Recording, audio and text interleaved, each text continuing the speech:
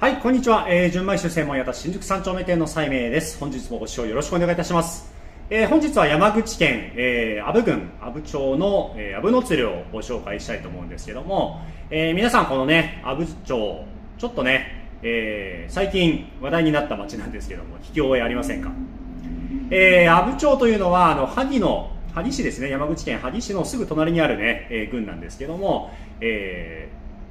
誤ってね、えー、役所の人が、まあ、振り込みをしてしまったということでね、えー、話題になった町です。まあ、なかなかね、えー、話題になること少ないね、えー、町なんですけども、まあ、その中にね、えー、ありますのが、この阿武の鶴、ね、えー、倉本さんです。はい、ラベルはこちら、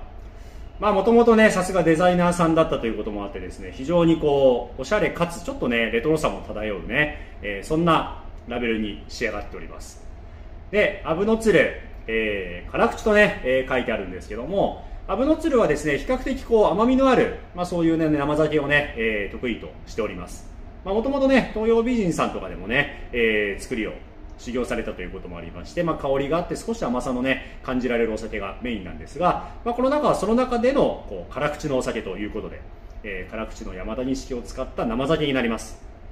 じゃあちょっとね、えー、試飲をしてみたいと思います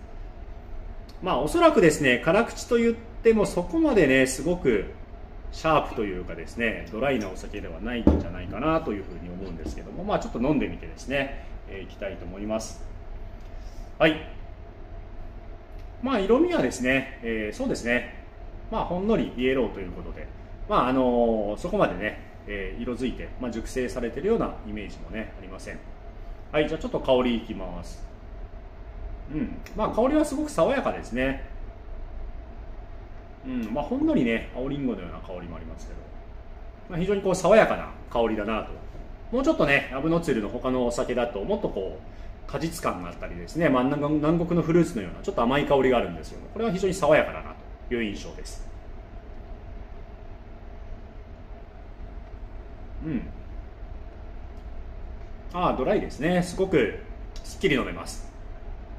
後口もね非常にこう爽やかですね。まあ綺麗にこうちょっとジューシーなね、えー、酸でえー、切れていくようなね、まあ、そんなイメージなんですけども、まあ、ただのこう辛口っていうよりは若干こう果実味も感じるようなね辛口ですので、えー、日本酒をね飲み始めの方が飲む辛口としては非常にこうおすすめできるんじゃないかなと思います。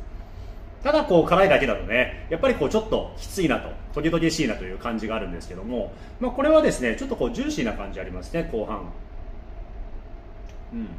まあ口に入ってきた時はスッとねまあ、ドライだなというね甘みはあまり感じないんですけども最後の方の、まあ、酸でですね、えー、ちょっとジューシーさを感じるということで、まあ、非常にこうね1杯目おすすめできるねお酒かなと思います。